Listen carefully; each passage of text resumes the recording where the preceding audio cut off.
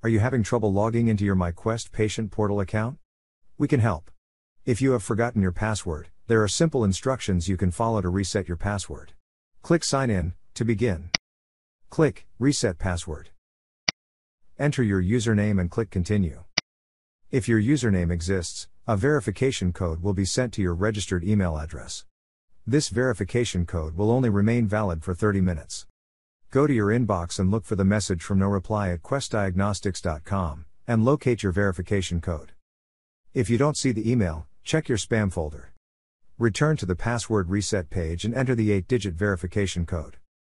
Then click Continue. Passwords are case sensitive, must be 8 to 60 characters in length, and contain at least one alphabetic and one numeric or special character. Type your new password. And then type it again to confirm. Click Continue. When you see the confirmation page, click Back to sign in, and then log into your account. MyQuest makes it easier than ever to manage your health. Our list of frequently asked questions is a great resource for answers. Here you will find online instructions and tutorial videos. Thank you for using the Quest Diagnostics MyQuest Patient Portal.